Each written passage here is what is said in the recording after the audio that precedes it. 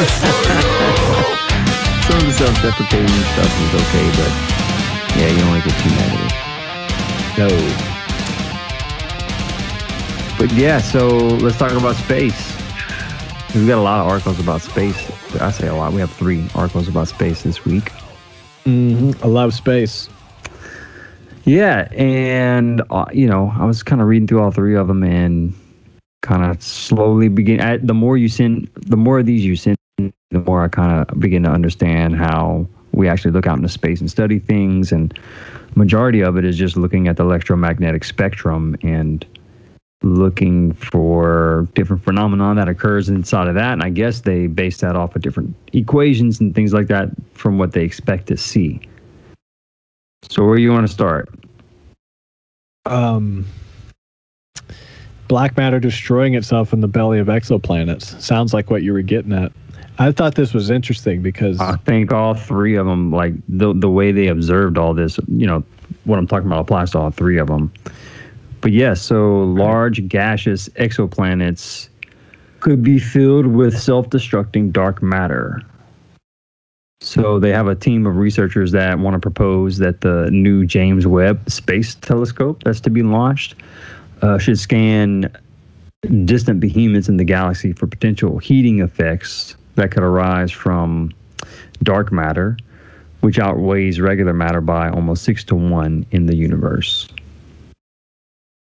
yeah, that blew my mind. That dark matter Yeah. outweighs regular, which would make sense because the Newtonian physics or whatever say that the more mass something has, the more gravity, gravitational pull it has. Right, and that's how we know it exists because dark matter tugs gravitationally on stars and galaxies. Dark matter But, uh, is gravity in a sense. So it I makes guess so. sense that if gravity had some kind of manifestation in the real world in the form of dark matter, it would be heavy as fuck. Six to one. is dark matter defined as gravity? No, I'm making that connection because dark matter perfectly coincides with gravity. That's like why they know it exists because if gravity tugs at everything, so if it's black dark matter tugging at it, then it's like it's it seems synonymous. Yeah, I, get where you're coming from with that. Just seems synonymous. Like what dark matter causes gravity? Maybe. Or is it, it just is gravity? Like what if they they're like, oh well, it just seems like that's what they would believe discover. what they think is that it causes gravity almost in the same way that regular matter causes gravity. But it's invisible to us, and it's Right. that's why it's hard for us to understand its all of its properties. because the Earth causes gravity, but it, it's not gravity. Right. So I wonder if the Earth is Exactly. manipulating dark matter, and the dark matter is the actual gravity. Well, I think it, based on logic of this article, if dark matter tugs on stars and galaxies, I'm sure dark matter has some type of gravitational pull on Earth as well, and vice because versa. It's tugging on Earth. And it, because also it you know, there's there- uh, you know, there's also six to one of dark matter compared to regular matter existing in the universe. We just can't observe it, and we struggle to understand all of its properties. Interesting. So they, they, think that, it. and they think that the dark matter is made up of like individual particles, mm, much Yeah. like regular matter, matter is, right? Yeah. So, electrons, protons, gluons, quarks, all that shit. Yeah. But so ba- but in the dark matter form. And so the so that the so in that sense these particles hit one another just the same way regular matter particles hit one another. they assume. And then when they smash together, they annihilate each other and generate heat. So if that assumption is true, then the dark matter particles should occasionally crash into exoplanets, which cause the particles to lose energy and then accumulate inside those worlds. Yeah, they like to. Whenever they annihilate each other, they produce a measurable heat signal that's visible from far away. Now-. Yeah. So the way I think they did it, because it was like, well, isn't it super hard to measure heat like that, like see heat variations on a planet, like, or couldn't you just observe that on Earth if if dark matter exists everywhere? But from what I gather from this article is the way they did this is they looked at super duper old large exoplanets that were like equivalents of super big Jupiters that uh Uh, that were cold. giants. yeah If you wanna know more about cool ja- very go ahead Gas giants. On one of our recent episodes, we talked about uh, gas giants and sideways rain, Jupiter and Titan, and we went into some stuff. If you want to know more about, Yeah, those are some, those are some extreme exoplanets. Oh yeah, and uh, brown dwarfs. There was a brown dwarf in my toilet this morning. I had to flush it down. Hmm. It was super gaseous. Funny poop humor. There you go. But uh, they looked at these planets that were like basically super old and cooling, and that's how they're able to see this the changes in heat signal, or that's how they think they will be able to see the changes in heat signals Yeah. to detect dark matter. And that makes a lot of sense that you would want to isolate the heat and the gamma ray explosion to just itself so it doesn't get convoluted in the heat of a active system. So they, they look out for these old dead stars and then didn't they find some stuff? Or am I thinking of the other article? I thought Mm, they found. Hmm. No, maybe not. The Maybe- Nancy but Grace. I think you're thinking of a different. I think you're thinking of a different article about antimatter. Yeah, anti stars. Right. Yeah, Right. that's the next. We're talking. We're going to talk about that here shortly. So the Nancy Grace Roman telescope is going to be launched in the mid 2020s, and it'll map the entire sky in exquisite detail. Findings can be expected in the next four to five years. So, man, the the cosmic microwave background keeps coming up for me, and I just feel like we need to talk about that documentary and get the word on because here they are going to map the sky again. So it's it, you know, I don't know, man. I gotta refresh me on the cosmic microwave background again. I know we've talked about it a couple times. Yeah, that's the documentary The Principle. Came out in like 2017 and they mapped 360 degrees in the universe all around. And Mhm. then it, they mapped the cosmic microwave background, which is the furthest edge of the universe. It's just microwaves. And apparently it's a background behind all the stars. So they mapped it, the heat signature of it. So they created a 360 degree interior model of the universe based on heat, red and blue. And it Mhm. was basically yin yang. It was basically balanced. It wasn't like random and chaotic. It was like balanced. And the conclusion was that it appears from our relative perspective that we are the center of the galaxy. Because if we're not, we should be able to see that we're closer to one side than the other side. They should be able to determine some kind of relative position based off of what the very outside edge of the universe looks like from our position, right? Just like a room, if you're in Right. the corner, you would be like, it's just closer here, and I can. But it, it they can. It was like we're we're just basically at the center according to this model. which is really a mind fuck to think about. What That's it, like a in, you- Discovery in your mind? What what are the implications of that? Like, if that were to be true, that we exist at the center of the known universe, Dude, I immediately think about Quetzalcoatl or some lizard god 12,000 years ago just like swimming around the pyramids creating humanity. And I'm like, dude, I think all the ancient texts were true, man. We live in a bizarre world and we actually have gods that created us before the great that's what my first thought cuz like if we're at the center of the universe yeah, you got to like re imagine maybe the simulation theory is something to really consider that's true. You know, It's just tobacco. Simulation theory, how would that play into that? Can you Well, expound, please? if we exist in the center of the universe, from what we could see, well, for what we are able to observe, then maybe this is just some petri dish we were we were created in. That I mean, you, you, don't you see where I'm going with that? That it's kind of crazy that we would, or It or seems I, planned. I I think I yeah, it seems planned. Or I think of like some divine intelligence or something that placed us here. You know what I mean? Exactly. Yeah. So um, that's what that's where I'm going with the simulation theory. Like it's either you know you can think it from a religious sense that God put us in the center of the universe, and that's why we're the only observable intelligent life, and we are the center of the universe, and all this was created for us, I guess, which is a really weird way to think about it, or it's just some simulation that we're placed inside of. I don't know. It's weird. yeah. Fuck.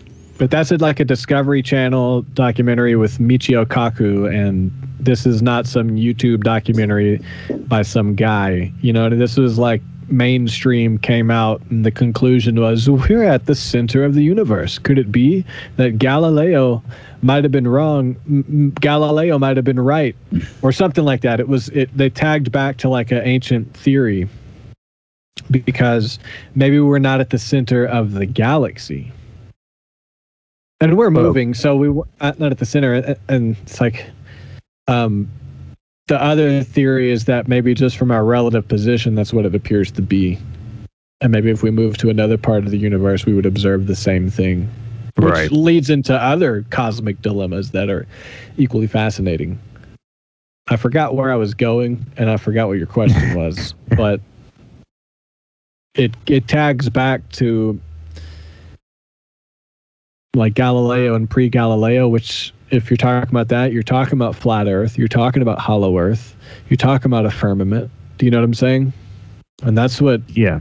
gets me going is like there's a lot to unpack there because now I got to go back through the Bible and read what specifically these ancient texts have said about is Earth at the center, or you know, like how does the cosmic microwave background map connect to any biblical predictions or things we've shrugged off ancient texts relating to the cosmos broad strokes. But that's what makes i gotta clarify this because it just seems like there's more there in these ancient books. Like ho- holy shit they knew about the cosmic microwave background in the bhagavad gita and in the Bi- you know it seems like there's something there.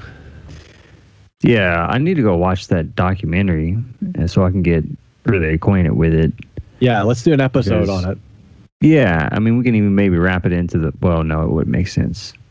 So we could wrap it into the Phil Schneider episode. But Oh, we could because Phil Schneider talks about something we'll that we'll get in. We'll get into that. yeah, it gets into something that gets that could I could We'll make it work. I could make it work. I know you could. All right, so Um, let's. So, speaking of matter, then they have stars that we may have discovered that could be made of antimatter. Yeah, anti-stars could be lurking in the Milky Way. 14 points on a gamma ray map could potentially be stars made of antimatter. Let me get to the article right here. This could be the case when normal stars pull in antimatter with their gravity, which annihilates on the surface, producing some gamma ray bursts similar to collecting in the center. But this is on the surface of stars, not exoplanets and gas giants. This would be a major blow to the cosmological model, just like the cosmic microwave background. They said this could be a major blow to the cosmic model. They keep repeating this major blow to the. Co- it's like they keep they're they're conditioning us to expect our understanding of reality to change soon. Now, I'll ask you this, and maybe you can. What's the difference between antimatter and dark matter? Antimatter is the The exact, the opposite, the opposite of matter. charges. Yeah, so like I don't know. I guess helium has an opposite, and it's the opposite But- charges. but it doesn't exist in the same uh, same quantity as dark matter does in the universe, right? Because you know, you read through this article. Apparently, from over time, we believe that the ratio of matter now greatly outweighs that of antimatter. Yeah. And that's why it's, you know, we don't really observe it in the modern universe. Like it got lost. In fact, like it says the, the modern universe contains almost no antimatter. And they think that the universe has evolved in some process led to matter particles vastly outnumbering the antimatter alter egos. as well as we know these processes that destroy antimatter. So it's been destroying itself as well. So they had the the International Space Station recently detected hints of an anti-helium nuclei. So the fact that that observation was confirmed uh, means that some of that antimatter could have been shed by by anti-stars. Anti stars, dude. Out of they found 5,800 gamma ray sources, and only 14 points of light gave off gamma rays. Uh, the energies were expected of matter antimatter annihilation, but didn't look like any other known type of gamma ray source like a pulsar or black hole. Now, I love my pulsars. But this didn't have the characteristics of a pulsar. No, little outliers. What is it? It's they estimate one anti-star out of 400,000 normal stars exist. Uh, that's hard to prove because the light no, from so, anti-stars. so there's there's two different. They, they they think there's two different theories here that if ant, anti-stars existed within the the plane of the Milky Way, where there's a lot of gas and dust made up of ordinary matter, where those particles interact with antimatter particle and e- emit those gamma rays, uh, that makes them easy to spot. Um, that as a result, the handful of detected candidates would imply that only one anti-star exists for every 400,000 normal stars. If, on the other hand, they tended to exist outside the plane of the galaxy where there's not as much normal matter for the uh, antimatter to interact with and annihilate, that would make them harder to find. So, in that scenario, it could be only one anti-star lurking among every 10 normal stars which would make it more plentiful, but it's just harder for us to observe. It's just a, a matter of where they, I guess, tend to exist based on the f- findings from the Fermi telescope. Doesn't it say that they emit their own light as well? They do, which makes them almost impossible to, to determine their difference from a norm, normal star. The only So way we can, the only way we can tell the difference is the that particular characteristics of the gamma rays that uh, of the normal matter interacting with the antimatter. If we and if we're able to observe that, I guess that's how we're able to determine that it's an actual anti-star. That's the way I. I'm a dumbass. I don't know. That's that's the way I um, interpreted the article. It resonates to me like the arrow of time from last episode, how it goes in both directions. So it's like a helium molecule, and then on the back end, the anti helium. It's like everything has the anti. And it seems like the same thing with. It seems like a different way of observing the arrow of time. Because arrow of time is more of like a philosophical concept with a couple of like statistical models, and this is like the same concept, but they're just observing it in uh, fucking antimatter and matter. Yeah, I guess so. Um, Does that mean we have anti carbon and like what we're made of? There's an anti right here. no, I think that that's the whole. I think that most antimatter over the development of the universe has disappeared, and most of what we now there's dark matter. I don't know how much of that we maybe have made up in of us or in our observable universe, but but no, I don't think that we have antimatter electrons and protons. I could be wrong. I'm a dumbass. I don't understand physics that deeply, so I'm just basing that on these articles that I'm reading with you. Mm. Trippy, man. I didn't realize It the universe trippy. was this crazy. It's like every week I find these articles that really blow my mind again.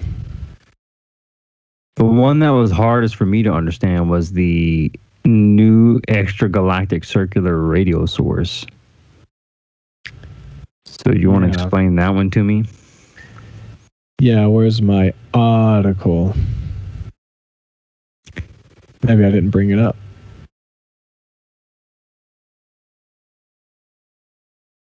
Using the Australian Square Kilometre Array Pathfinder, astronomers detected a new circular extragalactic radio source approximately 1 million light years in diameter.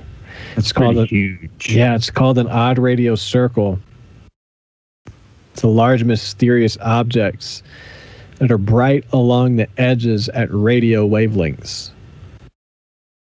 So it looks like the outer edge of a galaxy glowing from the from the end cap of it basically. Yeah, and they're observing Radio this through the, you know, they're looking through the electromagnetic spectrum at radio wavelengths specifically, which are like 300 or 30 hertz all the way to 300, uh, what is it, kilohertz or something like that, or gigahertz. Yeah, 300 gigahertz. Not visible by regular infrared or X-ray wavelengths. Only radio waves. They think it could be a relic lobe of a giant radio galaxy seen end on, or a giant blast wave from a binary supermassive black hole merger.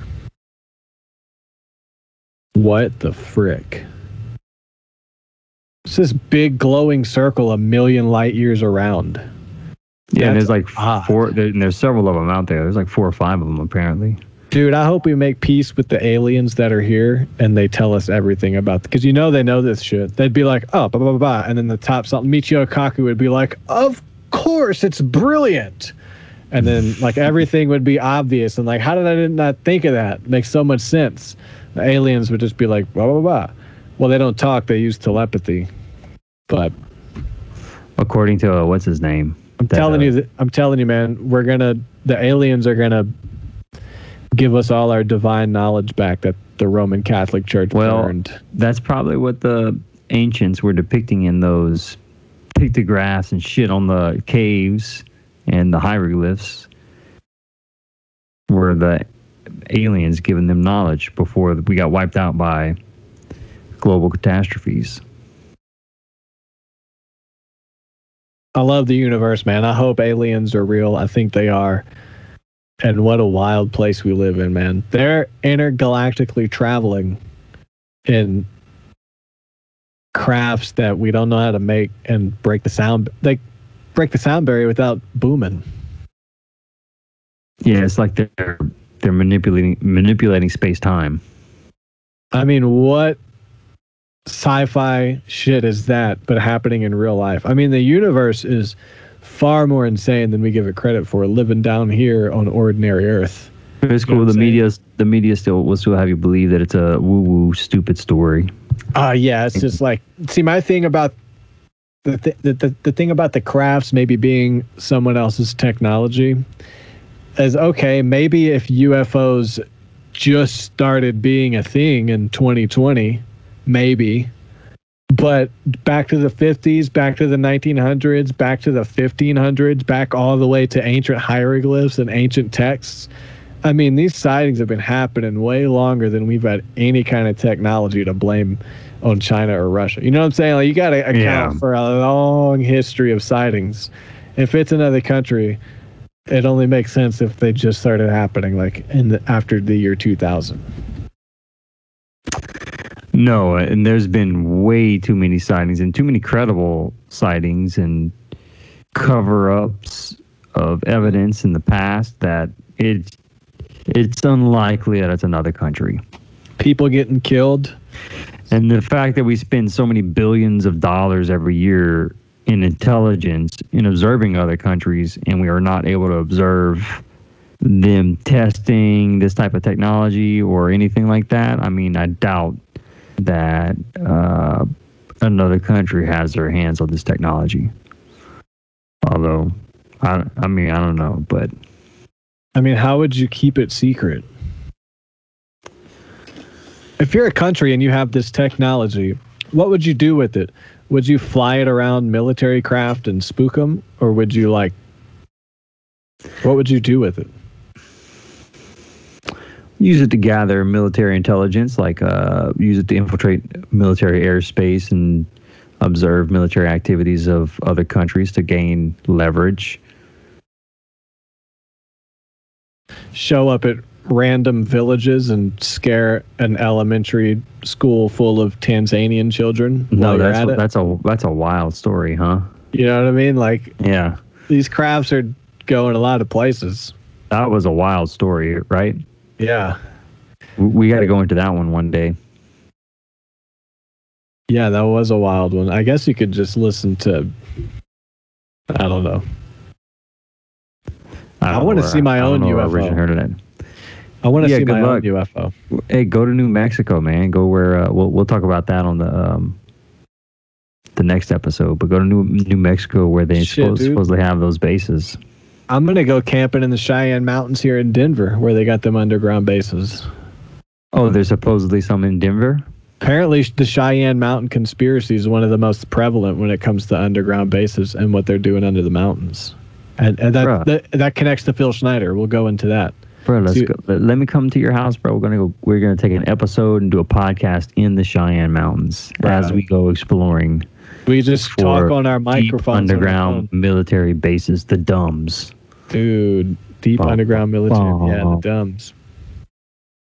Man, what a world! I watched the YouTube documentary just the other day about a UFO in England, and the military covered it up.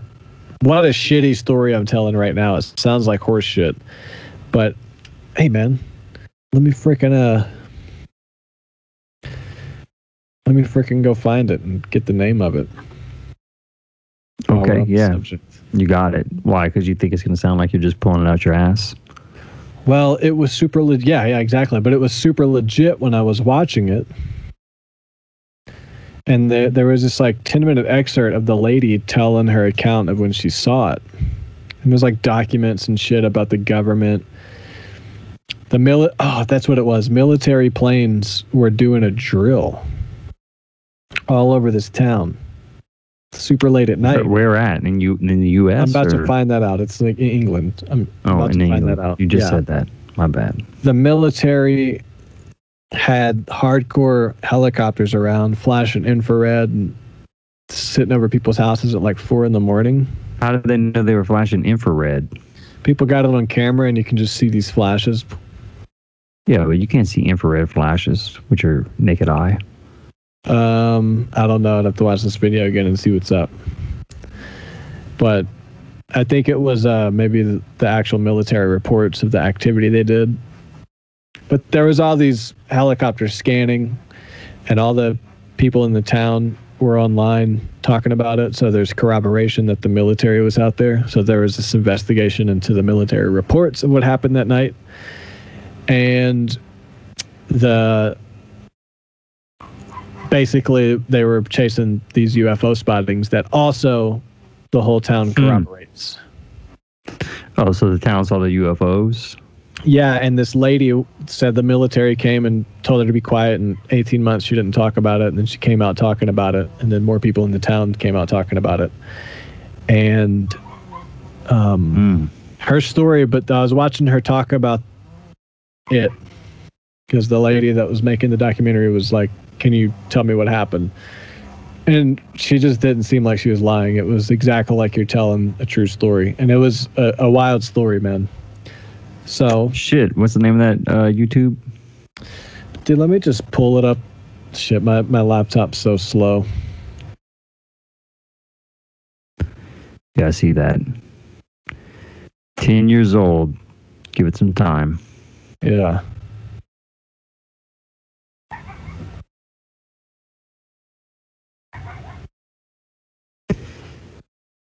I'm gonna cut this part gonna- out. yeah, I know. It's like I'm about to start uh, just playing the Jeopardy music here. Um, I'm gonna edit this part out.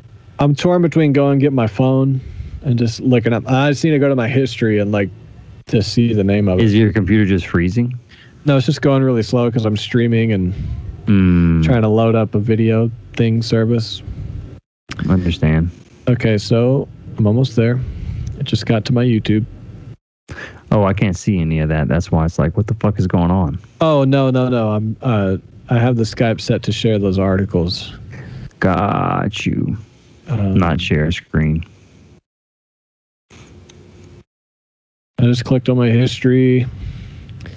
The Pinturk UFO incident from the Paranormal Scholar. The greatest UFO cover up you've never heard of. Pinturk is the town in England. P E N T Y R C H. And it was a good documentary. I watched the whole thing. I'll turn off a real bullshit documentary when it's obviously bullshit. Do you know? right. Yeah, Right. I know.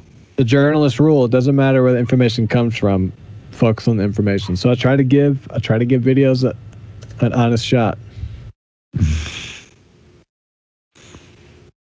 you want me to screen share this article because i was just looking for the title Oh no, you're good. Uh, so I'm just gonna. I guess I'll write that down. We'll talk about it next time. What's the Uh, name of it? i mean I, it's playing right now i might as well just share it I don't know if we'll be able to see the video though. I thought my my my bad. I thought you were about to just share the article.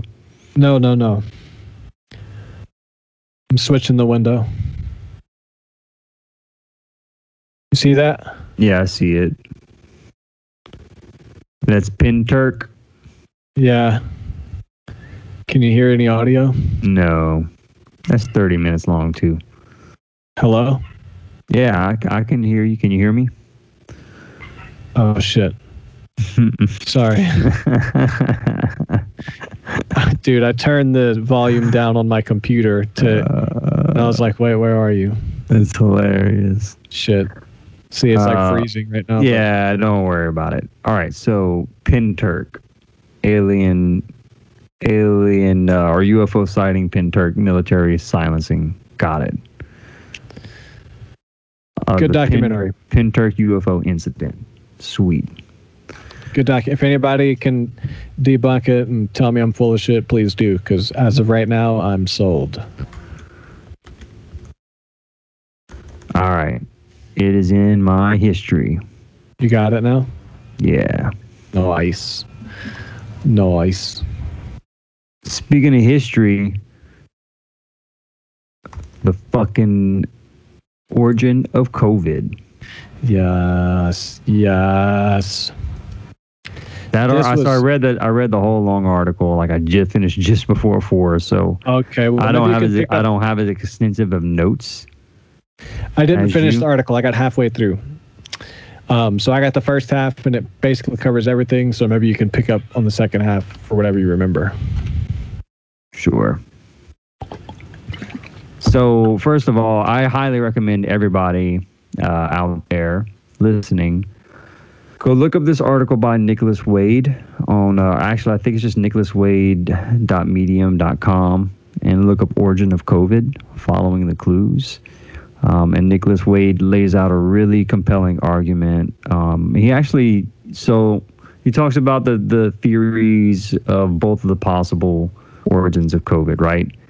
That are out there, and he kind of tests both of those theories. does a does an intellectual exercise testing both of those theories, applying actual science, uh, virology science to it, to really kind of understand which which thread we should tug on more to understand where the pandemic came from.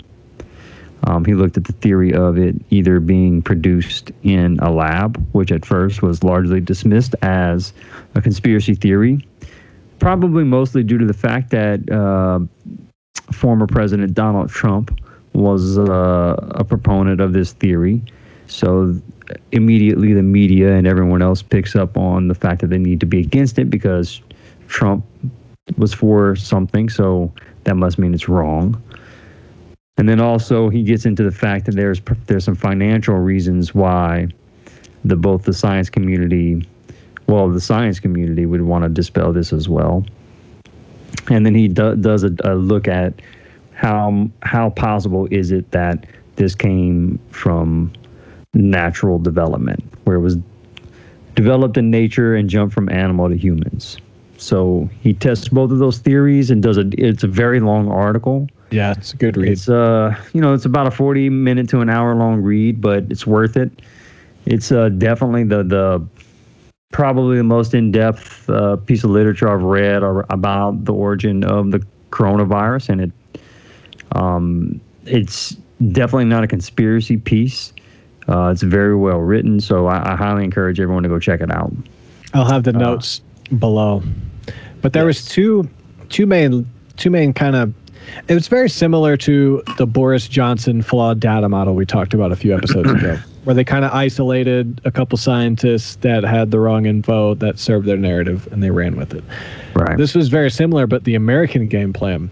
So there was the Lancet letter where scientists and organizations stood together against conspiracy theories drafted and organized. This Lancet letter was drafted and organized by Peter Daszak, president of the EcoHealth Alliance of New York. His organization funded coronavirus research at the Wuhan Institute of Viral fuck, the Wuhan Institute of Virology. Um, and the Lancet letter also stated we have no competing interest, which it does because if he's fun again, like that was last episode where the investigator was one of the doctors that worked there. But they basically came out and said we have no competing interest, and the whole thing is conflict of interest because you're funding. He funded. He funded the lab. He funded some of this. Uh, but then he went on a campaign research. to say to discount conspiracy theories and say to save his ass. It was it was a damage camp, and we watched it in real time last year. You know, all these like it, well, it didn't come from a lab. It didn't come from a lab. It's very unlikely conspiracy theories. Conspiracy theories. Okay. And now what's the talk? Fauci funding Wuhan, Wuhan, Wuhan, Wuhan's trending.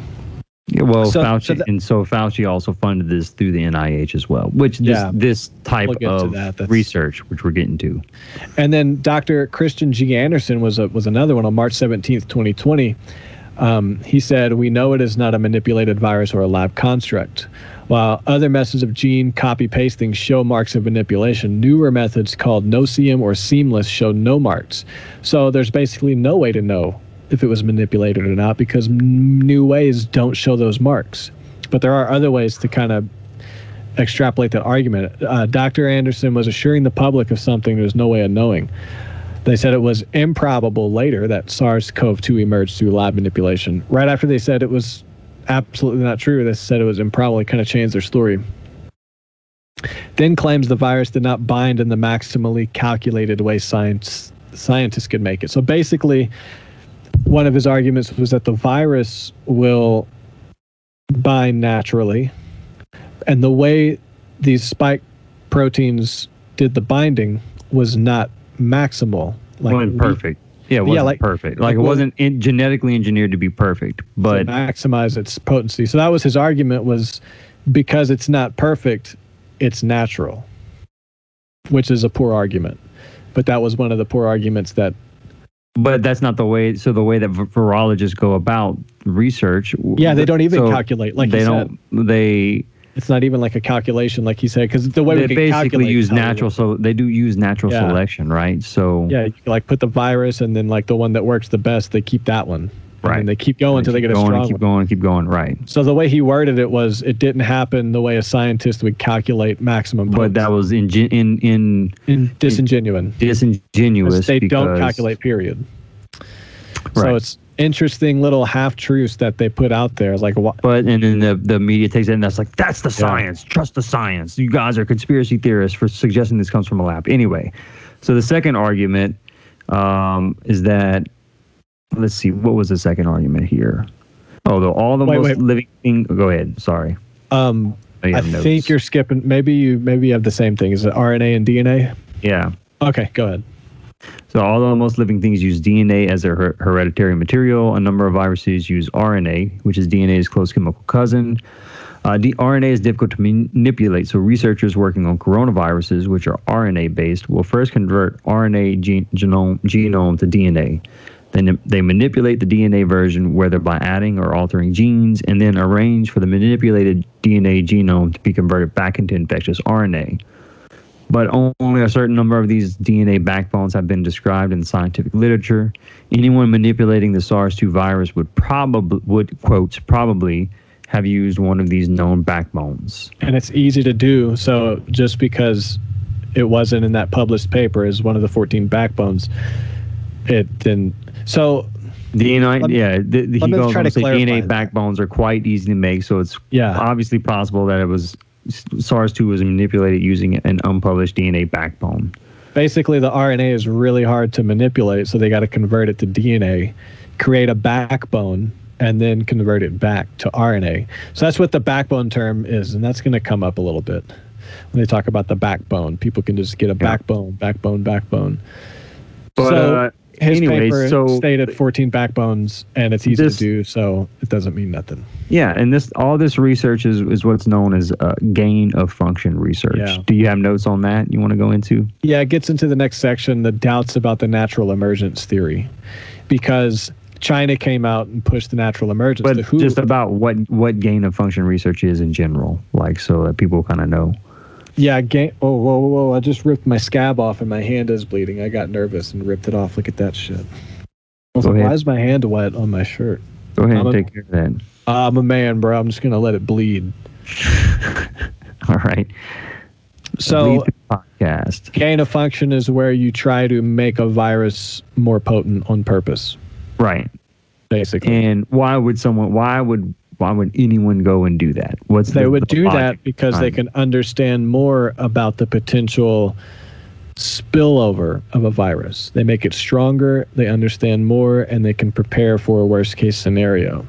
And ultimately. So gain of function research is of no value based off of this pandemic because that's the gain- exactly what I was getting at. Like the gain of function is supposed to protect us from the virus, but really the risk of it escaping is more detrimental than just leaving shit the fuck alone because it wasn't that bad in nature. Like, why make it worse to protect us from the Yeah. not as bad version? and then also we Where were the risk- studying we were studying novel coronaviruses that come from bats in a fucking lab and how much benefit did that get us during this pandemic none. Hey, but exactly that comes up later, and I have an interesting theory about how the vaccine got made so quick. It'll remind me later. Um, that does come up later. got you More about so that. science so the whole thing is like why would why would uh, scientists want to like dismiss the lab leak theory well it's because of funding it co- comes down to money at the end of the day Yeah, well, I mean, that's what we said whenever Peter Daszak came out with a campaign to dismiss a lab leak theory, and he's the one funding the lab. And the doctor that was part of the investigation team was working in the lab. This conflict of interest to cover their ass because they fucked up. That's basically what's happening. Yeah, so any virologist or scientist that steps out of line with that, you know, potentially potentially risk losing lose, losing funding for their research. So obviously they, they don't want this lab leak theory to come out, and they don't want to face the wrath of the public because of it. Mm-hmm. I wouldn't either. No, I mean Shit. three million people lost their lives. Dude, I spilled somebody's food once at a restaurant. I felt terrible. I can't imagine. Like, oh, sorry, world. Sorry, Oops. we let a virus slip out that killed three million people. Whoops. I remember it was like second grade eating lunch on the floor, and I get up and my foot kicks the guy's food, and I'm like, sorry. I felt so bad, dude. Can you imagine I letting a, couldn't a pandemic slip out? That's but- So there was those two theories. Um, the doubt about a natural emergence occurred when uh, the WHO they had a commission sent to China February 2021, and the commission members was controlled by China heavily. Its members included Peter Daszak. He continually asserted that the lab escape theory was extremely unlikely, but the Chinese came to have no evidence to support this. 15 months later, SARS 1 and MERS, MERS, left a lot of traces in the environment. So this was surprising. SARS 1's host was discovered four months after the 2000 outbreak, MERS 9 months after the 2012 outbreak. SARS CoV 2 undiscovered any host even 15 months later after extensive research. Chinese researchers failed to find the original population of bats or the intermediate species to which SARS 2 jumped, or any serological evidence that the Chinese population, particularly Wuhan, had been exposed to the virus prior to December 19. So if it did happen naturally, they should have found something by now. And they're kind of left empty handed because they're dismissing the lab leak theory, and their theory has no evidence And they're like, what the fuck? So the article says they effectively recreated the 1918 flu virus, demonstrated how polio can be resynth- resynthesized, which is like, uh, I don't know, polio is basically like the flu, it's like the meningitis.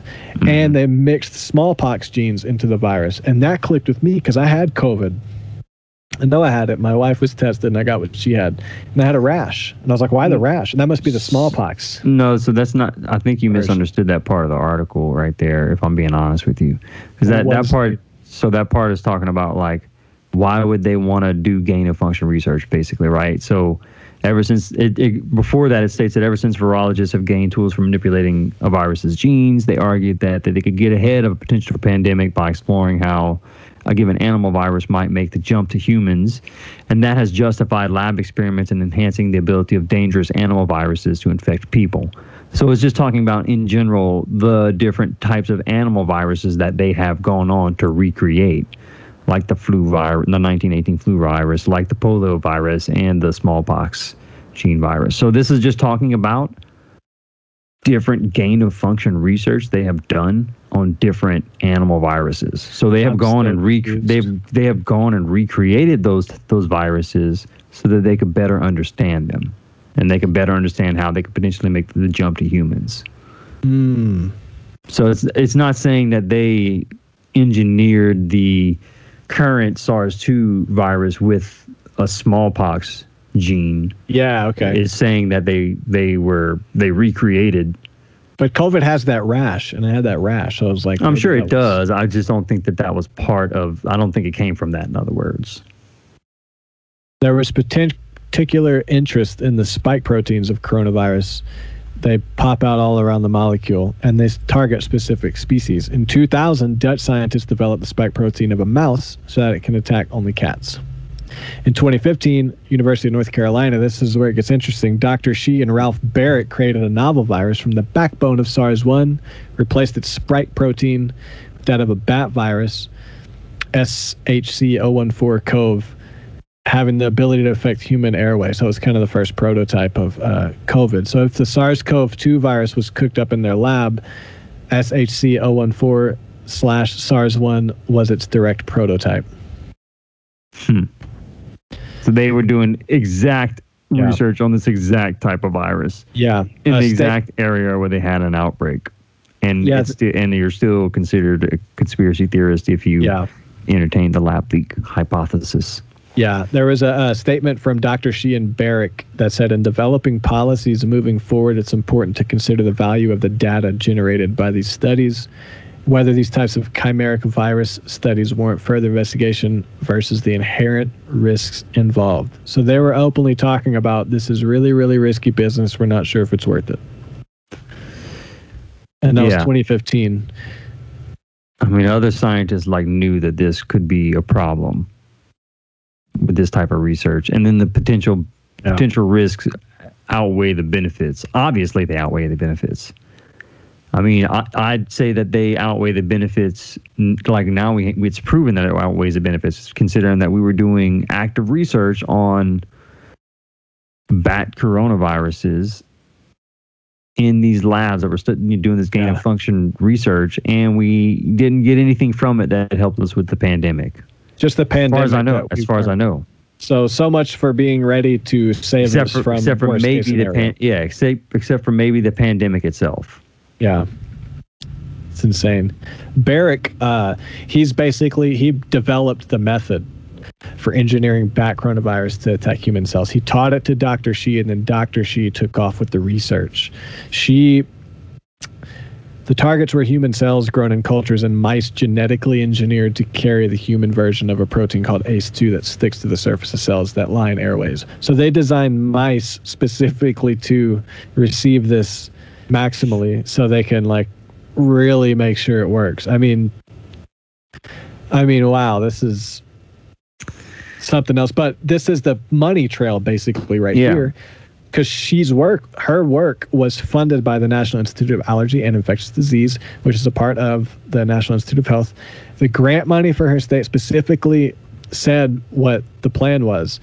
Um, the they were assigned to the prime contractor, Dr. Dashik of the EcoHealth. So the money came from him. Yeah, subcontract the grants to She. And there's a is couple the- quotes. Did you want to read those quotes? Yeah, we can read the quotes, uh, or we could just read the me. You know, I like how he just kind of lays it out and. Well, I like to put the quotes because Okay, that's so, the actual in quotes. of fact. In quotes, this is the fact. This is exactly what the grant was for. It was in quotes: test predictions of cove interspecies transmission, predictive models of host range, i.e., emergence potential, will be tested experimentally using reverse genetics, pseudovirus, and receptor binding assays, and virus infection experiments across a range of cell cultures from different species in humanized mice. We'll use S protein sequence data, infectious clone technology, in vitro and in vivo infection experiments, and analysis of receptor binding to test the hypothesis that percent divergence thresholds in S protein sequences predict spillover potential. You can break that down in non technical language.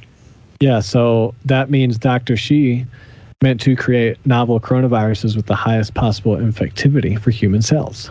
That's really fucked up. Uh, her plan was to take genes that coded for these certain spike proteins that had a variety of measured affinities for human cells. So basically, the ones that really attach to humans. She would insert the spike genes one by one into the backbone of several viral genomes, which is basically reverse genetics or the infectious clone technology. Uh, that created a series of chimeric viruses. The viruses have been tested for their ability, and then in vivo and in vitro, which I finally learned what that was. In vitro was taking place inside a tube, culture dish, or elsewhere outside a living organism, and in vivo is in the organism. So they tested both in the in a dish and in the mice. So that helped them predict the likelihood of spilling over from bats to humans. The the research by Dr. Shi was meant to find the best chimeric viruses that attack human cells. SARS-2 like viruses were created in this lab, and SARS-2 itself very well likely was created in this lab. Dr. Shi's records are sealed, so it is yet impossible to know whether she created SARS-2 or not. And then there's two more quotes. Uh, these were good quotes. I put asterisks around these. It is clear that the Wuhan Institute of Virology was systematically constructing novel chimeric coronaviruses and was assessing their ability to infect human cells and human ACE2 expressing mice. Uh, it's also clear that depending on the constant genomic context, this work could have been could have produced SARS-CoV-2 or a progenitor. Genomic context refers to the particular viral backbone. Um, and then Peter Daszak comes back in 2019 in an interview spoke highly of the Wuhan Institute Wuhan Institute of Virology researchers that were uh, reprogramming the spike protein. This is He's- months before the, Yeah, he was praising. the he said we virus have now outbreak. he said, uh, we have now found, you know, after six or seven years of doing this, over 100 new SARS related coronaviruses, very close to SARS. Some of them get into human cells in the lab. Some of them can cause SARS disease in humanized mice models and are untreatable with therapeutic not monoclonals. And you can't vaccinate against them with the vaccine. So these are a rare and present danger. Interviewer says the, you say these are diverse coronaviruses and you can't vaccinate against them and no antiviral. So what do we do? He says, well, I think coronaviruses, you can manipulate them in the lab pretty easily. Spike protein drives a lot of what happens with coronavirus. Spike protein drives a lot of what happens with coronavirus. And zoonotic risk. I don't know what zoo- zoonotic. Zoonotic risk. That basically means the spike proteins, uh, which are the little, which what bind to the cells, are what drive what happens in zoonotic risk, risk which is the the risk of jumping from animals to humans. I see. He goes on to say you can get the sequence, you can build the protein. We work a lot with Ralph Barrick at UNC to do this. Insert into the backbone of another virus and do some work in the lab. You can get more predictive when you find a sequence. He basically goes on to say once you have it nailed, then you can take the spike protein and make a vaccine. And that's hmm. what my theory about the vaccine, why they were able to make it so fast under Trump, who knew it was made in a lab, because they already had the spike protein needed to make a vaccine. Whereas when it's in nature and they have to discover it and break it down and do all this, it'll take five to six years. That's my theory of why they did it so fast. Yeah, you're you're right because That's what he says. That's what Dr. Dashik says right here. It's like once you get the spike protein after doing all this shit that we've been paying Barrick to do since 2015, five Billions of dollars. six years, five or six years. That's how long it takes. six or seven years. He Yeah. said. Yeah. So I mean, come on, from the devil's mouth himself. Only Yeah. a few days later from this interview did the outbreak in Wuhan happen, dude. Instead of providing health authorities with the information that he knew, he went on a campaign to discredit this theory. In 2019, in an interview, he stated the idea that the virus escaped from the lab is just pure baloney. It's simply not true. And that's the interview with Trump you were talking about. Trump came out and Mhm. dropped a major bomb. Love him or hate him. Yeah, Same thing with Alex Jones. Love him or hate him. I think they're right most right. of the time. Sometimes, yeah. So then it gets then the article breaks into the safety arrangements at Wuhan Institute of Virology, which were uh, not good to say the least. Uh, they had a safety violation, or not a safety violation, but uh, a concern. They said the new lab has. They had just built a BSLL BSL4 lab, and, and upon its inspection, its readiness was uh, considered. Uh, it alarmed the State Department, and they said the new lab has a serious shortage of appropriately trained technicians and investigators needed to safely operate this high containment laboratory. So, just uh, as we go into this safety, you know, discussion, there are four degrees of safety designated from BSL one to BSL four which BSL 4 being the most restrictive, and that's designed for deadly pathogens like the Ebola virus. Yeah.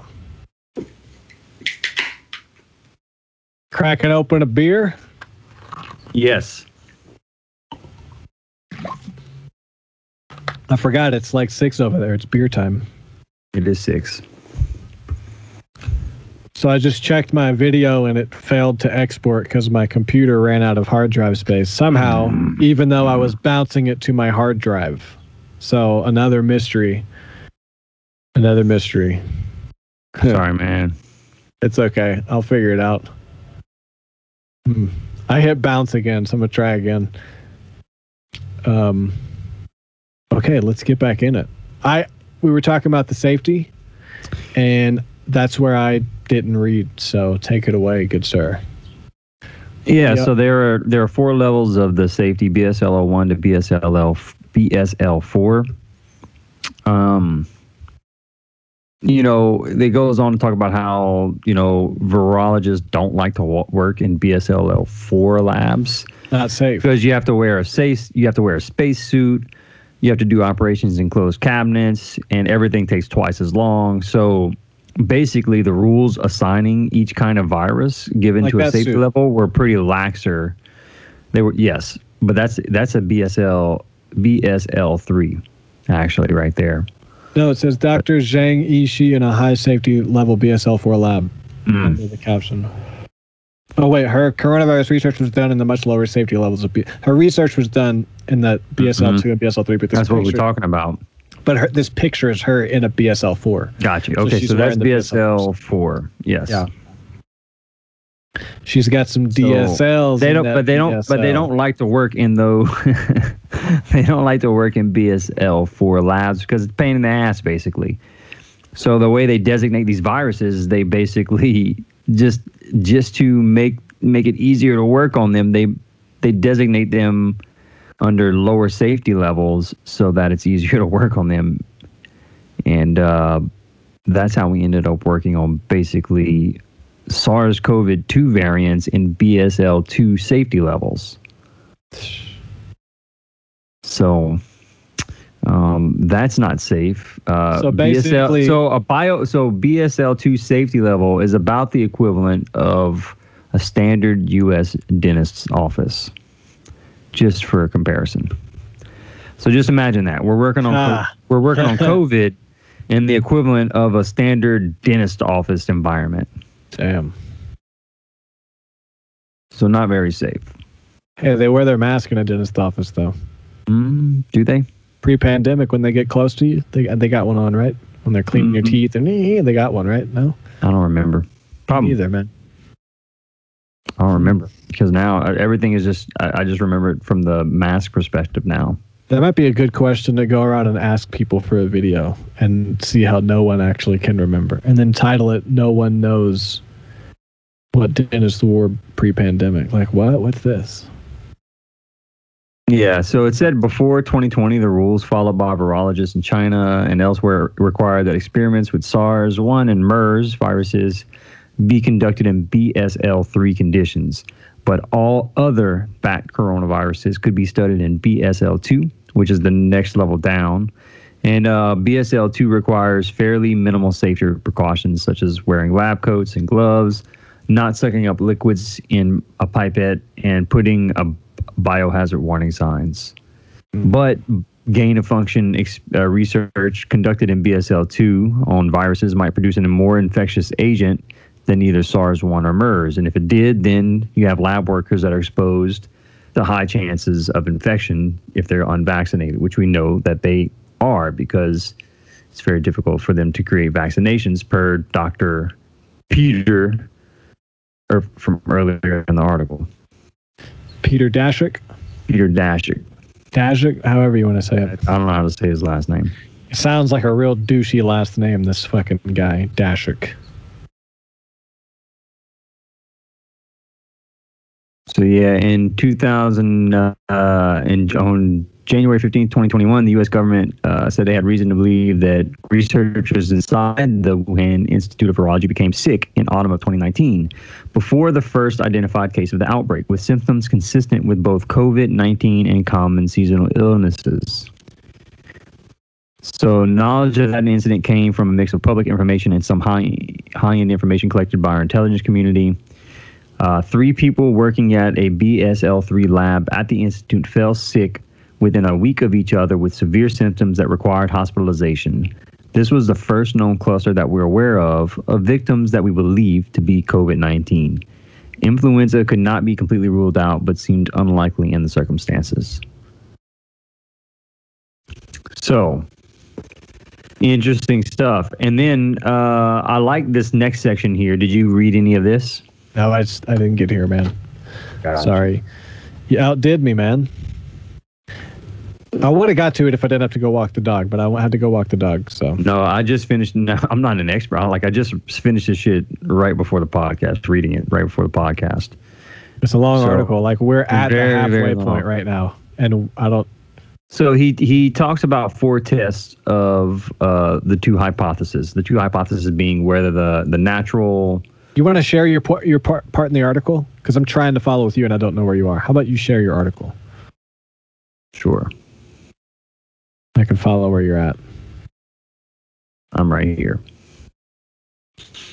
Boom. So yeah, the the two hypotheses being either the lab leak or the natural uh, occurrence. So he talks about the place of origin. So Yes. you talk about this, starting with the geography, the the two closest known relatives of the SARS virus were collected from bats living in caves in Yunnan, a province in southern China, which is uh, 1,500 miles away from Yu- Wuhan. That's where Dr. Shi was continuously going to caves to get Yes. bats for this. She did her work in Yunnan. Yunnan. Yeah, and it, it talks about if if it, the first people infected were people around the Yunnan caves, that would that would strongly support that idea that the virus spilled over to people naturally. But uh, that isn't what happened since the pandemic broke out in Wuhan, fifteen hundred miles away. Um, let's see here. That bat, the bat that it came from, which is Rhino Rhinolophus affinis, which is, or I guess, commonly known as a horseshoe bat. Its range is at best uh, 50 kilometers, so it's unlikely it made its way into Wuhan.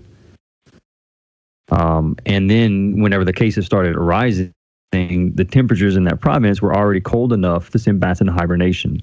So these are all factors pointing a- away from the fact that this could have came from a bat. Migration. kind of? So then it talks about all right, what about if it infected some intermediate host?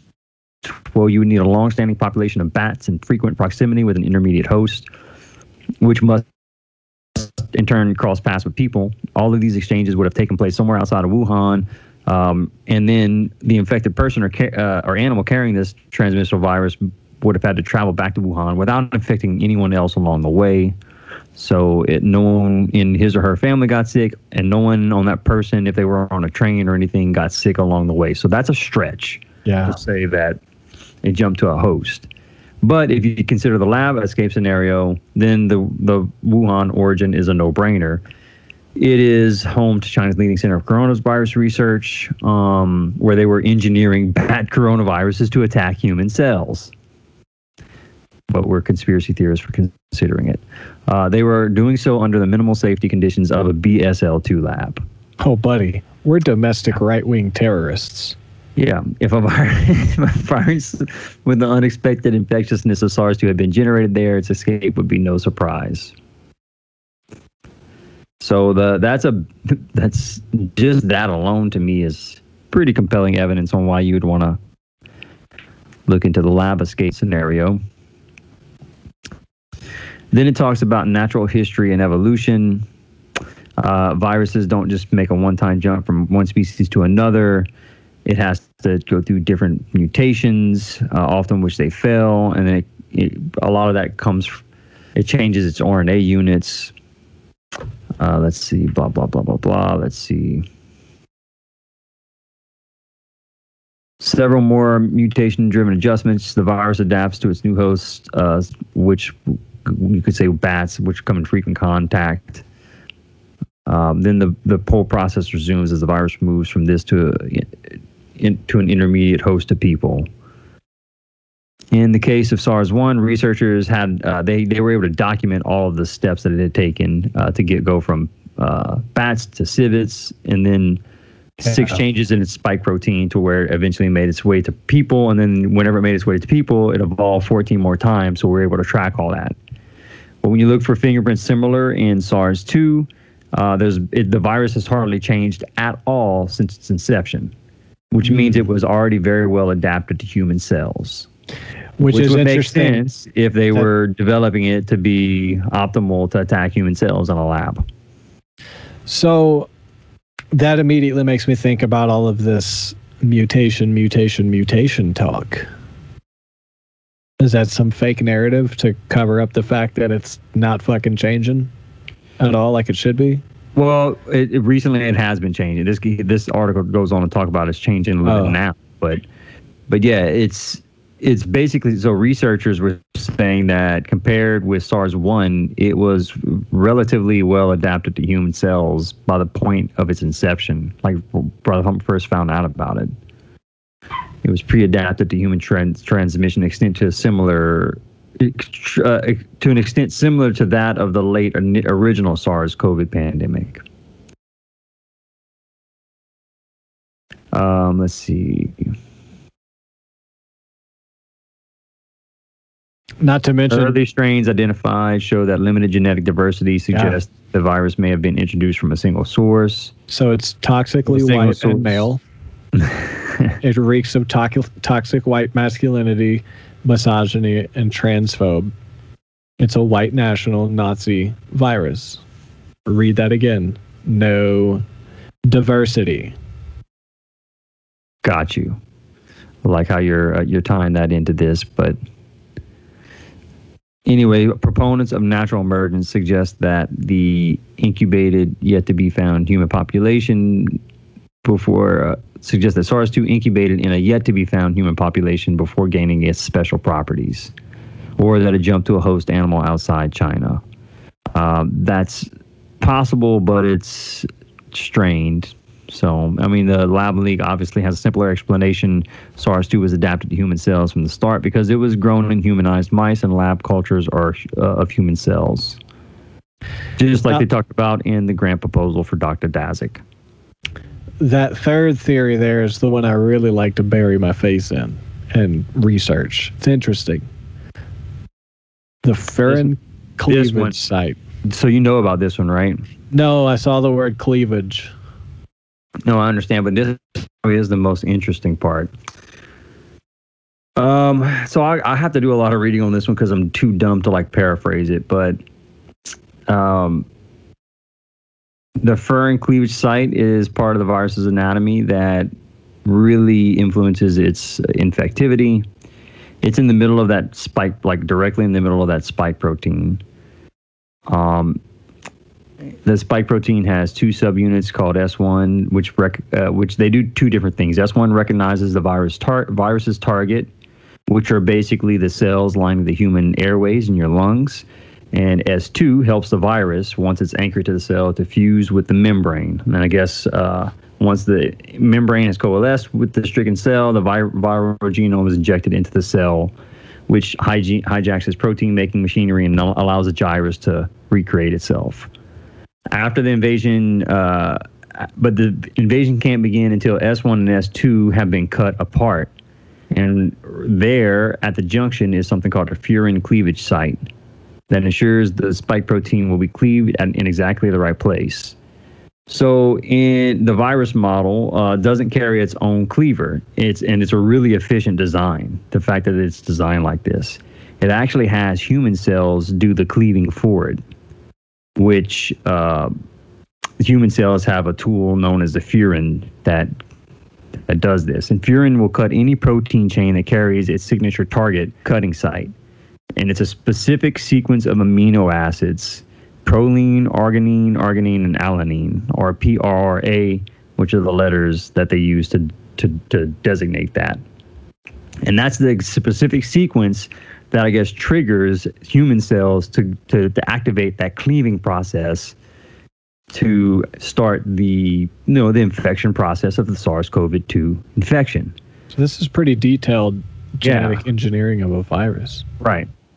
So viruses have all kind of clever tricks. So why does the, that stand out? Because of all known SARS-related beta coronaviruses, only SARS-2 possesses a furin cleavage site. All other viruses have their S2 unit cleaved at a different site and by a different mechanism. So how did it get that site? It was either evolved naturally or it was inserted by researchers at the S1 S2 injunction in a gain of function experiment. Whoa so if you consider its natural origin, uh, viruses evolve by either mutation or recombination. Mutation is the process of random change in DNA or RNA for coronaviruses that results in the amino acids in a protein change being switched for another. Uh, many of the changes harm the virus, but natural selection retains the few that do something useful. Uh, mutation is the process by which the SARS 1 spike protein gradually switched its preferred target cells, uh, which I guess are figured out by S1, from bats to civets and then to humans. Uh, mutation seems less likely for the furin cleavage site to be generated, even though it can't be completely ruled out. The four amino acids are all together and all at the right place, all at the exact right place in the S1 S2 junction. And mutation is a random process triggered by copying errors when new viral genomes are being generated or by chemical decay of genome, genomic units. So it typically affects single amino acids at different spots in a protein change. A string of amino acids like that of the furin cleavage site is much more likely to be acquired altogether through quite a different process known as recombination. And then it goes on.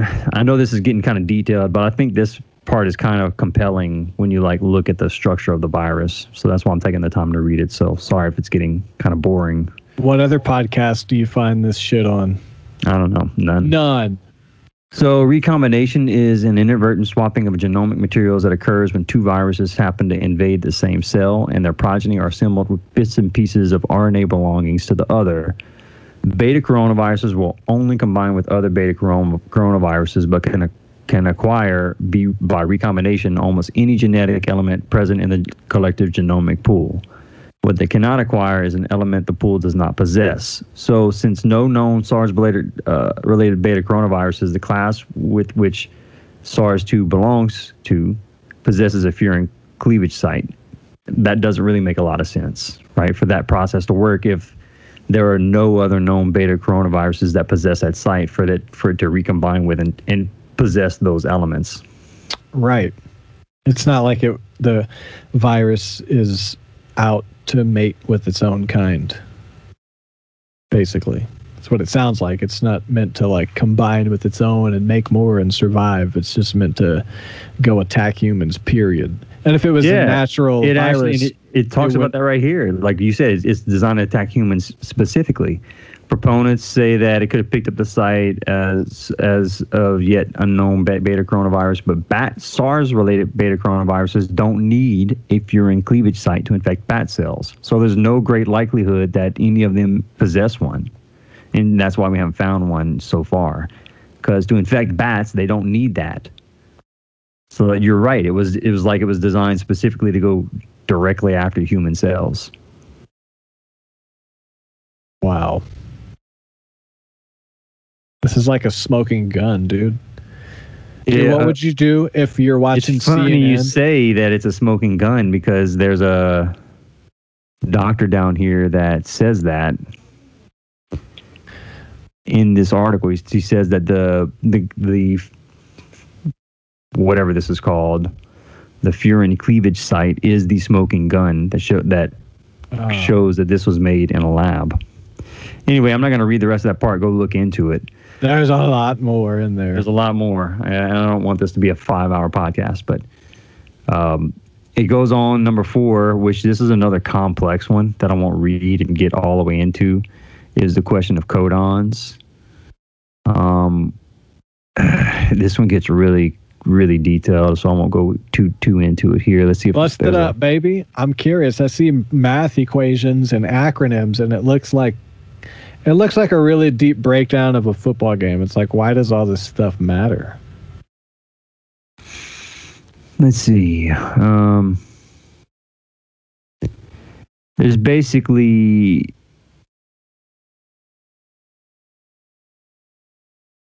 different amino acids that are groupings of amino acids that they find or sequences of them that they find that are specific to SARS-2 that couldn't have been picked up from other cousins of SARS-2 like through natural selection. So it just it's more factors that point to the fact that this the the two let's see there's a factor of these codons that make it more effective at at attacking human cells and it's not found in any of the other SARS viruses. It's just like the furin cleavage site, just another component of it. Yeah, um, there are several curious features about this oddest is the, that of the two side-by-side CGG codons. Only 5% of SARS-2 arg- arginine codons are CGG, and the double codon CGG-CGG has not found, been found in any other beta coronavirus. So how did SARS-2 acquire a pair of arginine codons that are favored by human cells but not by coronaviruses? It seems like it would have the ones favored by coronaviruses if it naturally evolved from coronaviruses. It would match the pattern. But it's it's the ones that are favored by human cells. Yeah, I mean, this is what the news should be talking about, right? Yeah, proponents of natural emergence have an uphill task to explain all of the features of the SARS-2 furin cleavage site. They have to postulate a recombination event at a site on the virus's genome where recombinations are rare, and the insertion of a 12 nucleotide sequence with a double arginine codon unknown in the beta coronavirus repertoire at the only site in the genome that would significantly expand the virus's infectivity. Yes, but your wording makes this sound unlikely. Viruses are specialists at unusual events. Is a repost of David L. Robertson, of our, a virologist at the University of Glasgow, who regards lab escape as a conspiracy theory. Recombination is naturally very, very frequent in these viruses. There are recombination breakpoints in the spike protein, and these codons appear unusual exactly because we've not sampled enough. I guess this is a motherfucker that is. Is he uh, trying to dismiss it? Yeah, yeah. He's. I think he's probably someone who's a proponent of gain of function research. What a fucking asshole. Can you read what he said again? he said that viruses are specialists at unusual events. Recombination is naturally very, very frequent in these viruses. There are recombination breakpoints in the spike pro- in the spike protein, and these codons appear unusual exactly because we've not sampled enough. So he's like, oh, it's an anomaly in nature because we don't know enough Yeah. about it. And since we don't know enough about it, we just went ahead and took millions of government dollars and uh, created them in a lab that wasn't safe since we didn't know a lot about them. Thanks, Doc. Thanks, Yeah. Doc Roberts. And this it goes on arguing this argument could be pushed too far. Any result of a gain of function experiment could be explained as one that evolution could have arrived at in time. And the numbers game can be played in the other way. For the furin cleavage site to arise naturally in SARS-2, a chain of events has to happen, each of which is quite unlikely for the reasons given above. A long chain with several improbable steps is unlikely to ever be completed. For the lab escape scenario, the double CGG codon is no surprise. The human preferred codon is ru- routinely used in labs, so anyone who wanted to insert a furin cleavage site into the virus's genome would synthesize the PRRA making sequence in the lab and would be likely to use CGG codons to do so. And then you talked about the smoking gun. When I first saw the furin cleavage site in the viral sequence with its R- arginine codons, I said to my wife it was a smoking gun for the origin of the virus. Said David Baltimore, an eminent virologist and former president of Caltech. Caltech. These Leave it up to features- California. These features make a powerful, powerful challenge to the idea of a natural origin for SARS-2. So I would say that's an understatement. That's they uh, they introduce a third scenario of origin that he, he this, I like that this guy's you know looking at all all Yeah. all of the possible scenarios. The guy who kind of dismissed it earlier, David Robertson, believes that SARS-2 could have trans- been transmitted directly from bats to people. Um, and because bats are widely distributed in southern and central China, the virus had ample opportunity to jump to people, even though it seems to have done so on only one known occasion. And that would explain why no one has so far found a trace of SARS 2 in any intermediate host or in human populations surveilled before December 2019. And it would also explain the fact that Oh. why SARS 2 hasn't changed since it first appeared in humans, the fact that it wouldn't need to because it could have already attacked human cells efficiently. One problem with this idea. Say that again? we were talking earlier about how it has not mutated or has not Yeah. changed much, right? Yeah. Like SARS 1 had mutated 14 times when it got to humans, but this one's just starting to mutate now. But uh, it talks about that it wouldn't have needed to change much because the it would have already been efficient at attacking human cells. well, but he says one, Are they one problem saying- with that. what? Are, are, are they saying that just right away it was good to go? It would never have had to evolve. That sounds like what it's saying. Like from the yeah, get go, it is. It is. That's what it's saying. That's and that's why I was able to jump straight from bats to humans because it was already evolved to the point where it was able to do so. And it which is why they don't find it in any host animals because it didn't jump. But one problem with that is that if it were if SARS jumped from bats to people in a single leap and it hasn't changed much, it should still be good at infecting bats, and it isn't. Hmm. Bat species are poorly infected by SARS-CoV-2, and It they're seems- likely to be a direct source for human infection. So, it's it, bats don't catch COVID very well, which would mean that it would be weird if it, since it hasn't changed much, for it to have- have come from them. It's it. I mean, I'm no doctor, but it seems to me that the natural origin theory doesn't hold up. Yeah, It also seems that being created in a lab does hold up.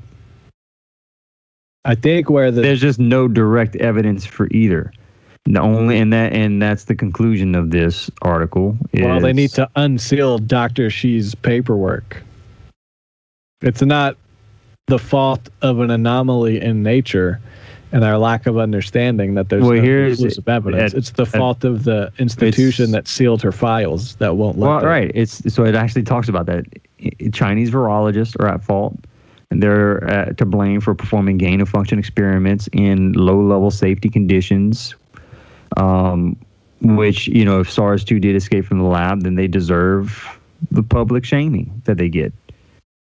Um, Chinese authorities for sweeping it under the rug and closing the records on it so that we don't understand where it came from. And that we won't be able to prevent this from happening another another time. And we're continuing to dump money into gain of function research and not correcting the problem from where it came from. They're to fucking blame for this too. Yeah.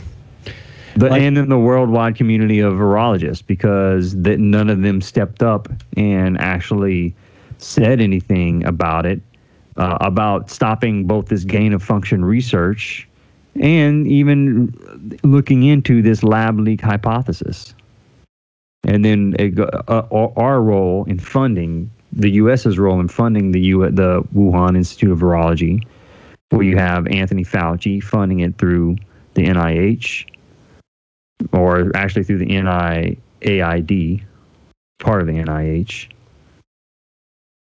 and continuing to and trying to continue to do so.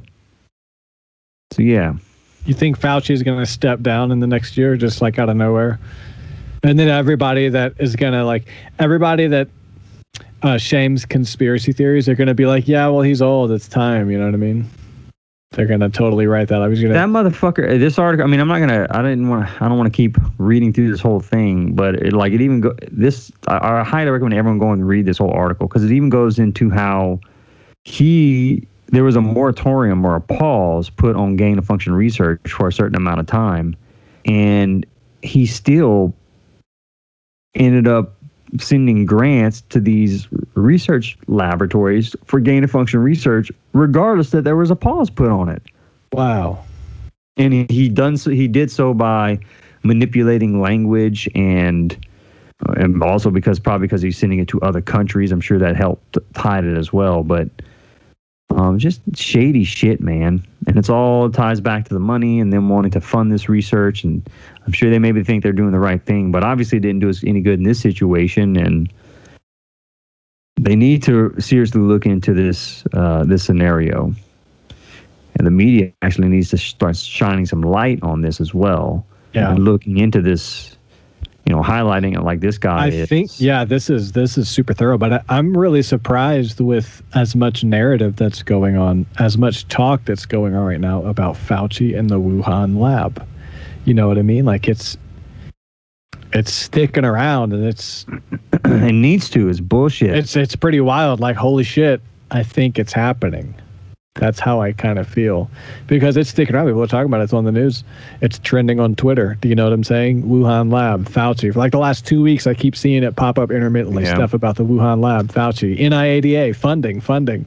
yeah. Uh, Ryan Rand Paul or whoever he is is on TV, just straight up coming out. You know, the sucky thing is, who's the first guy that called all this? Donald fucking Trump. Let's be honest, right? He was out there saying this. It was came from a lab. It came from Wuhan. He called it the China virus, and people said he was racist. So then they wrote off the whole thing, which is brilliant. If you Yeah, want to look the other but way. he was also praising fucking Z early in the in their handling of the coronavirus, early in the whole thing too. So Trump was wishy washy in the whole thing. Mm-hmm. Yeah. But I mean, he got this right though, didn't he? That's pretty wild. And we don't, and so we don't know for 100% for Yeah, a I fact that it came not- from a lab, right? Because this article is not does presents no definitive proof, but it definitely lays out some compelling reasons why we should look into it, and it makes you question why we haven't found any evidence at all, zero of natural emergence of this virus. Wow, I think- stuff. I think that really puts the conversation to bed, man. That's this episode is for the people. This episode is for the people. It's for the people. The link to this space. article is in the description. If you're ever in a COVID uh, debate with somebody, have no fear. The Illuminati Telegraph show notes are here. Just click Yeah, on that article and just the show and notes. show them. Tell them read this article. It's twelve thousand words. They'd be like, "I'm not reading that." And then you It say, is. "If you're not going to read a twelve thousand word really article." is. It is super long. Yeah. But wow, man, that was really good clarification on basically the whole conspiracy because I've been all about this the past year, but I just didn't get it organized and thorough like this. Now I feel like I know why the virus looks like it was made in a lab and what an app like I feel like I can have that conversation. I'm ready to go out in the streets and battle people over COVID. I'm ready now. I, I wouldn't recommend him battling anyone. Well, you know, debate battling, like just walking up and you. saying, "Hey, why are you wearing your mask?" And they'll be like, "To be safe." And I'll be like, "Didn't you read the article?" I get, I'll get real close without my mask, and I'll just go, "Didn't you read the article?"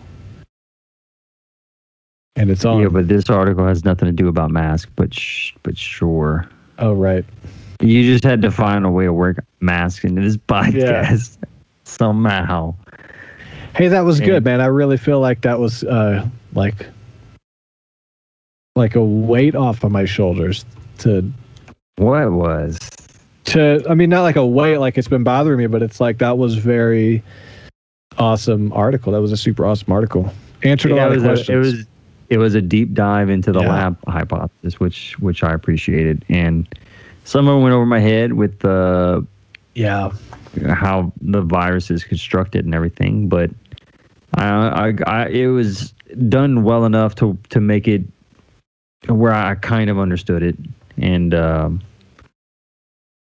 I definitely feel like I'm more on the side of the lab leak hypothesis than the Yeah. natural emergence after after reading that article. Yeah. I feel like it's. I feel, I I feel like I'm with you. Like if someone wanted to argue with me or debate me on this, now I have some actual tools that I can use in that conversation. That would be hard, pretty hard to, pretty hard to debate. Yeah. And then they say something that throws you off like Yeah, the furin cleavage. Oh, what's the furin cleavage? The furin what? Furin cleavage site. Coronavirus is the only one of the viruses that has the. And then you can be what the fuck? pretentious and be like, oh, "Why am I wasting my time?" and walk away. perfect. That's all we want this Yeah. podcast to do for you, so that you can be a little pretentious. yeah, yeah. We want to give you the tools you need to successfully be pretentious, because nothing's worse than a pretentious person that's wrong. If they're right, you can live with it. Like, okay, well, they've earned it. They were right. Exactly.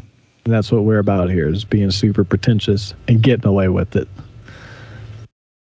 Just keep this uh, keep this Nicholas Wade article on standby though. So when, yeah, yeah. Shout out to Nicholas Wade. Shout out to Nicholas Wade. When, also, uh, I have those interviews. The article mentioned those links are there as well. One's a 30 minute YouTube interview with Peter Daszak where he was praising the institute, and then the other interview article of Trump where he said it came from the lab, and then Peter Daszak shut it down. So those links will be there, as well as the link to that UFO documentary I mentioned, the Pertek, the Pinturk. Sweet. I need to Let- go watch that. Let I'm me in- know I'm what you think that. of it. I want to in- I'm know. into that. I want to know if I'm getting got because it was interesting. Like maybe you'll watch it and be like, "This is obvious horse shit." But when I was watching, I was like, "It seems." I could, I would have liked a few more sources, but I still thought it was.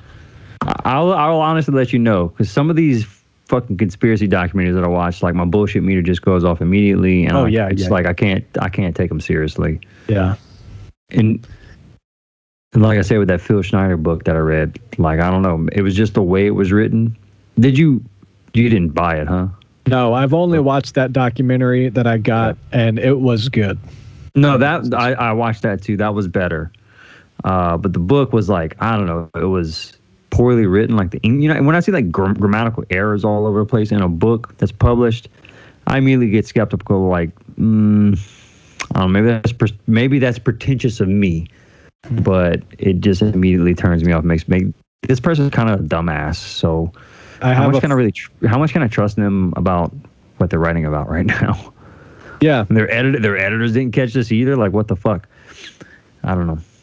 Yeah. Um, there is a flat Earth book that has grammatical errors, and I was very upset because I wanted to be sold. I wanted this book to prove that the Earth is flat. I wanted to go, yes, this is it, and there was grammatical errors. I was like, no, This person's a dumbass. no. Ah, oh well. Damn, ridden with. gra- I know how you feel, man. It's fucking. Uh, Yeah, when it's written with them, and you're like, I, can, I want because you'll see one or two even in like a well-written book, but whenever they're just all over the place in the first paragraph, in the first sentence, and like, what the fuck am I reading? yeah. I got 30 pages in. I'm like, this person's a moron. And But- the author of the book I'm talking about is Zen Garcia, Vaulted Dome of the Earth. It's a good book, and in all fairness, he might just have a language barrier. He might be bilingual maybe. and just Maybe. published it himself. But he, it's very well researched. It's very well read. It has the answers to the questions you would have. What is it to prove flat Earth? Like, if you want to know why people believe it, this book does a good job. But there were some grammatical errors, and I was like, "Fuck!" Yeah. You could never don't- bring this to college and be like, "See." But anyway, Well, yeah. Good episode, man. yes, Have fun. Even Yes. though it was, hey, it was kind of short notice, we still pulled the shit off. Yeah, that's good. Super short notice, huh? So the next one we'll actually we'll do Phil Schneider because last episode you said let's do a couple articles next week. My bad. Phil I- Schneider. My no, bad. no, and that's what we did. We did a Yeah, couple articles this we week, and then exactly what you said. So so we, we pulled it off. yeah, no, my bad. But I, my dumb ass, my, well, my dumb ass forgot and thought we'd do a Phil Schneider this week. So I was like struggling to like Oh. get all the Phil Schneider research done for today, which I did a lot, which is good. I'm gonna be prepared for next week. Um, but uh, but yeah, when when is Tiffany having the baby? Because I'm expecting there to be a gap where we don't have an episode. uh, June in the- 16th. June 16th. Okay, so we can. Got a little we got- lead time. Okay. Yeah, we'll do the Phil Schneider one, and then we'll. yeah, we got see. lead time. Okay. Uh, yeah, well, well, God forbid she goes into fucking labor, but she shouldn't. That would be, that would suck. Yeah, if it does, I mean that's good for ratings. Yeah, if she goes into labor in the middle of the episode, you mean? Yeah, I'll cut that part. It'll go on Instagram. Hash- hashtag labor. Hashtag podcast. Hey, that might get us a lot of follows. Yeah. My, what's your background this week? My background is the same as last week. It is um it's the Rocky Mountains from the view of the venue. Speaking of the venue, this is from the night of our live show. The photographer we hired took this, so this was from the parking lot. This live show is what I've been talking about. I'm gonna master and shit. So it's going up. This episode is gonna go up. Uh, right now, Jesse, in real time, the CD's not done. But by the time this episode comes out, it'll be up. Fuck yeah. So, um, this is from this is the picture from the parking lot from that show that's going up live. I might Fuck even use yeah. this for the artwork on the cover. So Love it. Yeah, so that album's coming out. Uh, what y'all got going on over there? Bro, I'm just so pumped to play a live show. Again, Boom Boom Room, June, right? June 12th, like four days before my baby's born. I'm said so hundreds of people are going to be there, huh?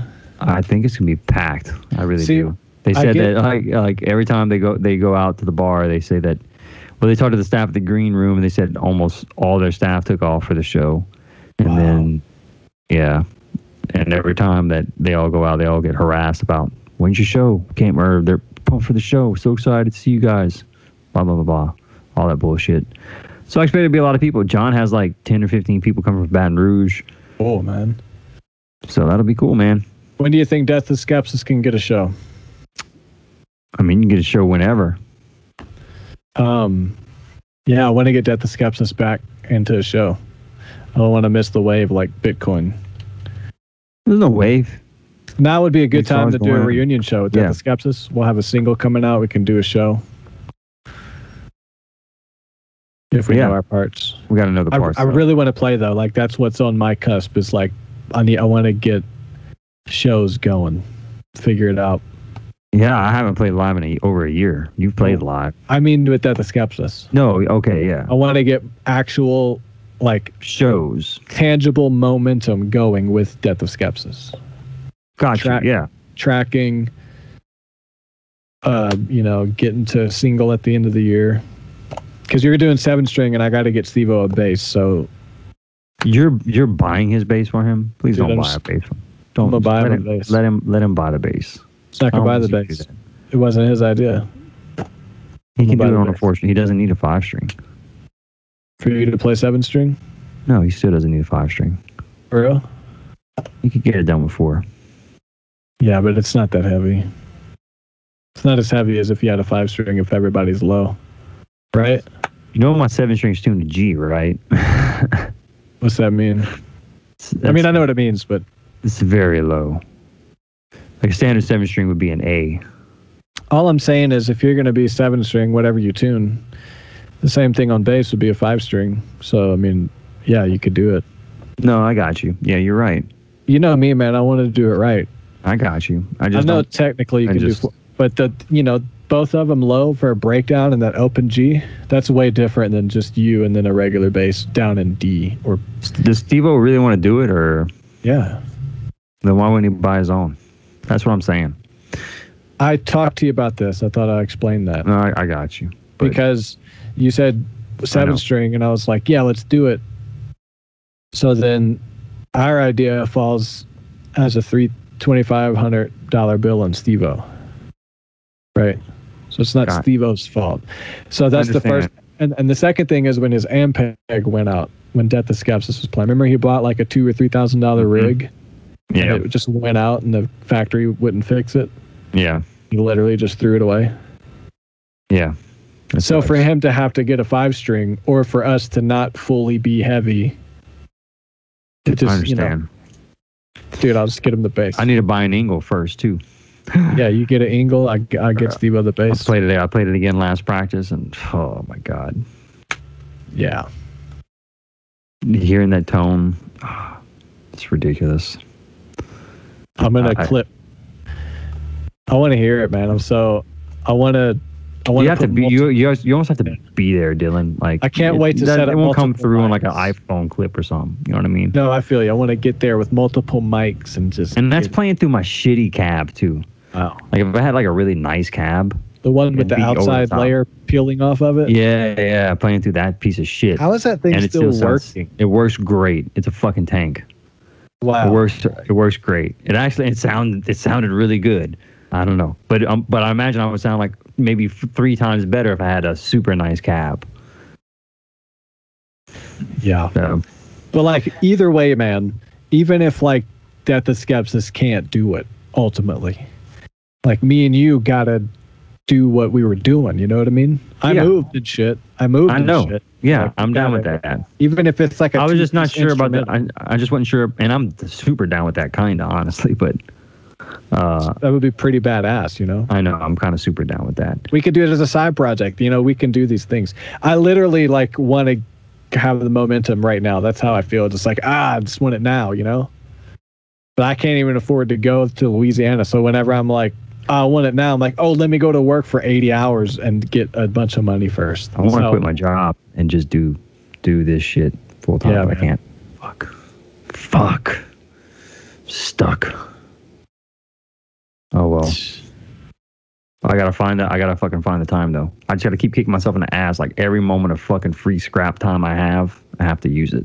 We'll get it, I man. need- I think I think a lot of I money need to not be a fucking piece of shit. I need to just every moment that I have is just fucking take advantage of it. That's what I need Yeah. to do.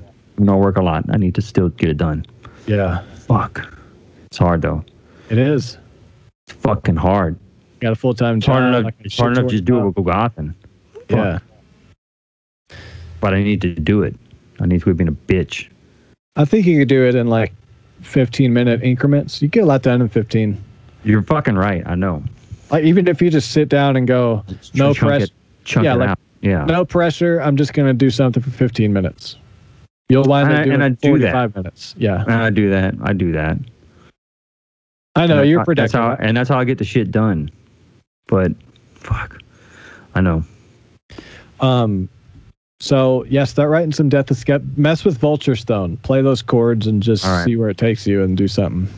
Cause that one's awesome, man. That breakdown is badass. Come on with it. Imagine releasing that one as a single. Dude, I don't want to. Re- I don't want to Yeah, mouth out the song. Yeah, don't mouth it, bro. What you doing, giving away breakdowns? It's it, man. Well, yeah, man. Um, catch up next Wednesday. Phil Schneider, deep dive, crushing it, smoking his tobacco pipe, getting a, a nicotine buzz on air live. Nicotine. Wink, wink.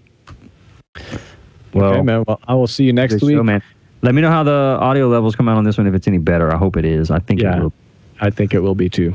I, I I just think like my neck hurts from hunching over. Oh, you need to get a boom stand, man. I have a kick drum mic stand that I set right here. fucking thing sucks. No, Uh, I- my back is hurt. That's why I like. I want to end it. It's like my back is just in pain Okay. bending over for I fucking think two like hours. 25 bucks, you can get a kick drum mic stand that'll sit I have one at my parents' house somewhere. I just need to Oh, make an hour hour drive and go get it. It's a normal just boom mic, Yeah, go get it.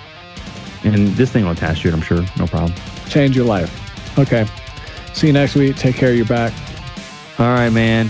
Good good episode. See Yeah, you next man. week. Phil Schneider, everybody. Assalamu alaikum. Assalamu alaikum, brother. I'm like later. I will